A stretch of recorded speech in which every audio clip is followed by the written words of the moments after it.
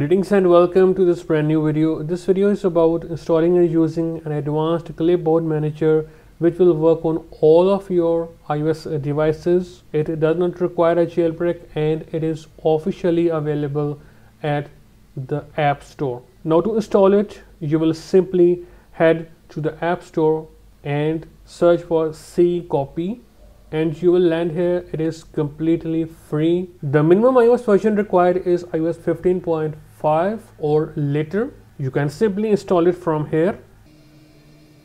Go home and now you can open it. Whatever you will now copy will automatically be added in the clipboard of this app. If you hit this button you can enable dark mode as well. So for example you copy something can now simply open the CCopy app. Simply hit allow paste. I will also show you how you can permanently allow this and you can see the copied text is right here in the clipboard history. You can simply tap on it to get more options. You can copy it so that you can paste it anywhere or you can lock it so it does not get deleted automatically. Because if you don't lock it, the text pasted into the clipboard will be deleted automatically after 7 days. You can also simply hit this button to delete or share it as a text document to any of your favorite apps or you can also save it as a new quick note, save to files and so on.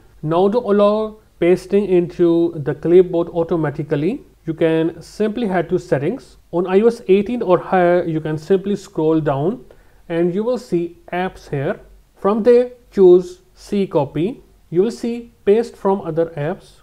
It will be on ask. Simply tap it and then hit allow. Now go back and now let's test the auto paste. I will copy the text and then I will open the CCopy app and you can see it is now automatically pasted into the clipboard. It is easy to delete the entries. You can simply hit this trash can then hit delete that's all for this video. If you still have questions, please ask in the comment section and I will reply you as soon as possible. I will see you in a new video.